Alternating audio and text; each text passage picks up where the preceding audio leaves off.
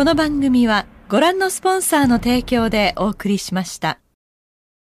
Hello，大家好，我是单车史海听。哎呀，又见面了啊！前两集呢，我们除了好好的介绍为什么你需要一只好的太阳眼镜，以及啊为什么太阳眼镜的镜片究竟有哪些的差别，这一集呢，我们就来好好的跟各位介绍一下，以及分析你要如何去保养你的太阳眼镜。为什么？因为啊。 一只眼镜这么贵，你总不可能啊，今天戴明天就丢，又不是抛弃式的，所以保养非常非常的重要。其实严格上来讲，太阳眼镜不能说它是一个消耗品，但是你只要把它放在旁边，你就算不使用，镜片的功能都会逐渐的减弱，只是时间的快慢而已，很难想象对吧？哎，对，其实我也是第一次知道。但曾几何时，我也是认为太阳眼镜应该就是可以让我们带到海枯石烂啊，然后就完全不用管，丢那边应该也不会坏吧？但实际上并不如此。尤其我们都知道，汗水是一个侵蚀性非常强的物质啊。像我们这样哦，这种单车热爱者啊，冬天不用讲啊，夏天一外出啊，就是汗流浃背啊，汗流满面等等之类。尤其像你这种时间一久啊，你的镜角以及镜片都会逐渐失去原有的功能。尤其镜片上呢，还可能又出现刮痕啊。当然这个是不可避免的，这些都会大幅度的降低镜片的使用寿命。因此。切记，太阳眼镜也是需要进行保养的哦。那在进入保养环节之前呢，首先我们要先了解究竟为什么镜片会损伤。那不外乎就是这几个项目，像是高温引起的镜片镀膜层破坏啦，或是不正确的擦拭造成镜片的划伤与脱模，那硬物的碰撞啊导致刮伤。甚至受到海水或汗水的侵蚀等等，这些都会造成镜片有些损伤。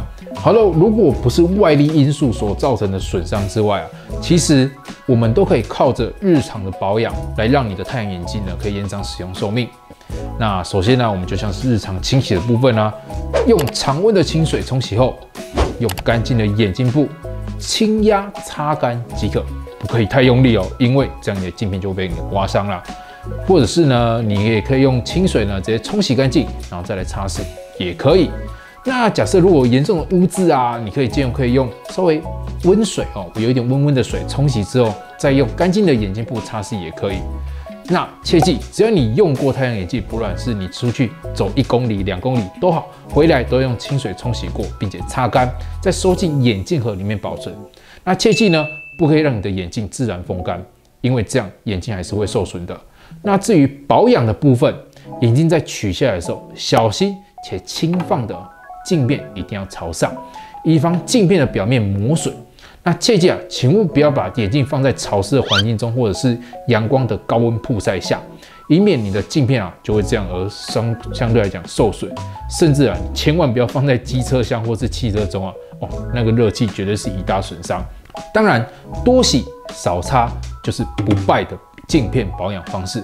最后呢，我们再来提醒一下太阳眼镜的日常使用，你需要注意的事项啊。虽然这些老道老掉牙了，但是大家还是要注意一下嘛啊！